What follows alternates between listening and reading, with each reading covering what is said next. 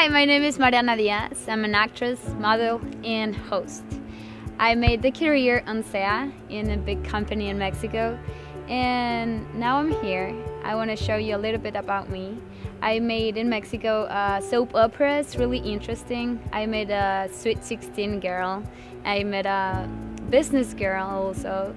Uh, and this girl was like really serious, you know? Something like that. And then I made a really fun characters. I made one that was like really nice girl, but in the end she wasn't that nice. It was in Amor Bravío.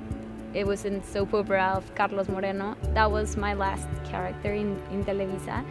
But to show you a little bit about me, I'll leave you with this. Hey baby, guess what?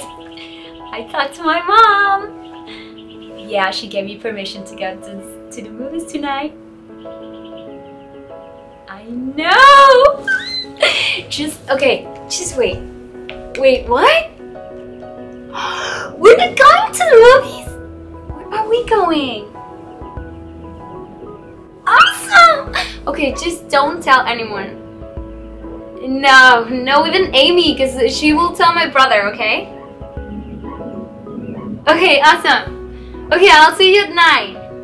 You'll pick me up. Okay, I'll be more than ready.